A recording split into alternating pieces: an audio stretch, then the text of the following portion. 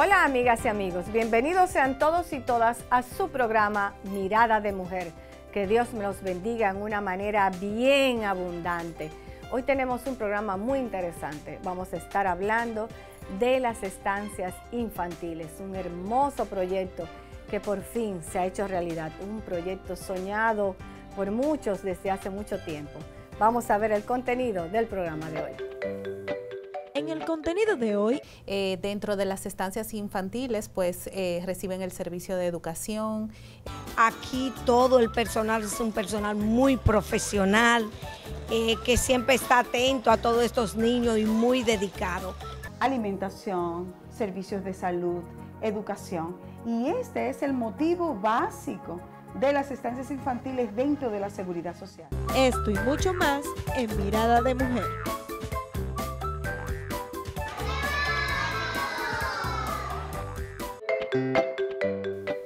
Las estancias infantiles son centros de atención destinados a estimular el desarrollo integral de niños y niñas entre edad de 0 a 5 años de la población trabajadora dominicana y son creadas bajo el compromiso de dar respuestas a las problemáticas de miles de padres y madres insertados en la maquinaria productiva, limitando la atención requerida a sus hijos estas ofrecen servicios de salud materno-infantil, estimulación oportuna, educación temprana y recreación.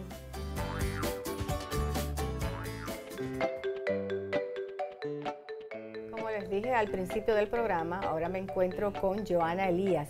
Joana es la directora, la encargada del Departamento de Psicología de las estancias. Sí, de la administradora de estancias infantiles. Qué bueno, bienvenida a nuestro programa. Muchísimas gracias. Hemos querido hacer, Joana, este programa para conocer un poco ese hermoso proyecto que son las estancias infantiles. Yo creo que deben haber, el país debe estar lleno de estancias infantiles. Claro. Es más, yo creo que el sector privado debe también implementar algún tipo de estancias para sus empresas. Yo creo, ese es un sueño que yo como empresa tengo en algún momento yo creo que el Señor me concederá ese privilegio. Poder, eh, poder lograrlo. Claro, poder lograrlo. Pero ahora quiero hablar de nuestras estancias infantiles, ese hermoso proyecto que gracias a Dios se ha podido empezar a implementar en nuestro país. Joana, dime un poco, ¿de qué edad, qué edad es que tenemos los niños en, en las estancias? Nosotros trabajamos con los niños de 45 días a 5 años de edad. ¡Wow! ¡Qué belleza! y me imagino que tienen todo un personal especializado para eso, sobre todo esos bebecitos de 45 días. Claro que sí. Bueno, cada prestadora cuenta con una encargada, una psicóloga, una coordinadora educativa y las educadoras con sus respectivas eh, auxiliares. ¿Qué, ¿Qué, beneficios aporta a los niños estar eh, eh, a tan temprana edad ya en un lugar de cuidado? ¿Qué reciben ellos en las, estancias? Bueno, los beneficios son múltiples. Eh, un niño que está expuesto desde temprana edad a los estímulos adecuados, pues va a ser un niño mejor desarrollado, más sociable, sus competencias se van a afianzar.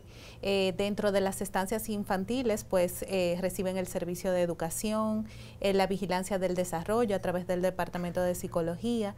También van recibiendo todo lo que es alimentación y nutrición, vigilancia epidemiológica epidemiológica, eh, todo lo que es eh, su tamizaje bucal a través del Departamento de Higiene y Salud Bucal.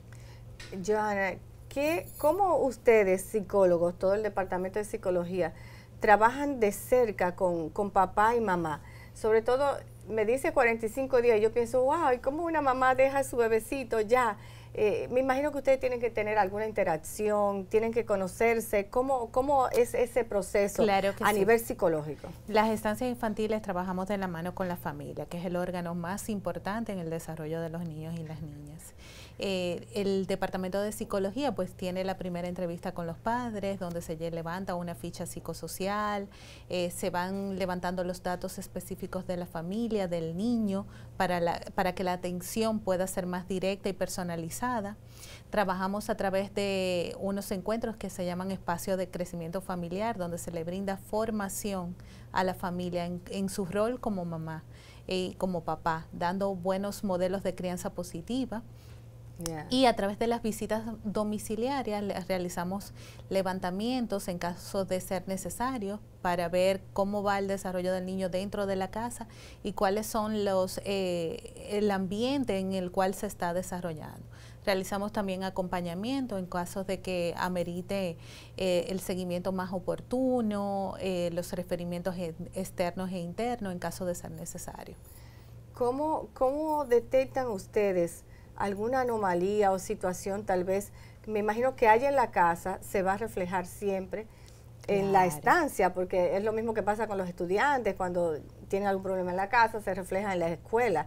¿Cómo manejan ustedes esa situación? Los niños y las niñas van dando signos de alerta, alarmas en su desarrollo, puede ser físico, puede ser a nivel de interacción social, puede ser en el lenguaje. Entonces, el, tanto las educadoras como la coordinadora educativa y la psicóloga en conjunto y de manera integral trabajan observando a los niños para detectar esas alarmas a tiempo o esos, esos signos que se van presentando. También desde el área de psicología, los niños eh, periódicamente están recibiendo lo que es la prueba de Denver, donde se mide su desarrollo psicomotor, su desarrollo de lenguaje y su desarrollo eh, social, para ver cómo están esos niveles con los rangos establecidos. Entonces, en caso de que un niño presente signos de alarma en alguna de las áreas, pues se hacen las intervenciones y referimientos del lugar.